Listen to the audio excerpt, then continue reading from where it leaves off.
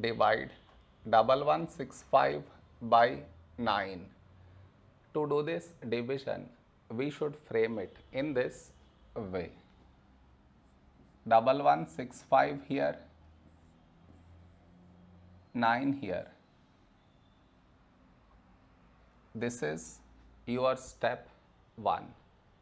Next, here we have 1, here 9, 1 smaller than 9. So we should take two numbers 11.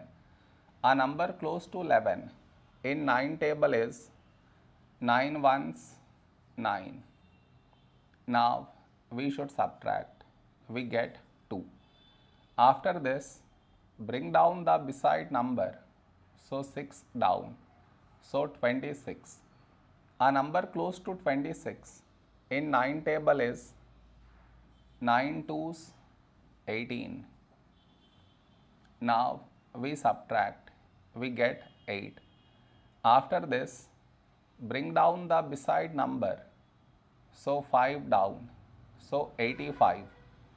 A number close to 85 in 9 table is 9 nines 81.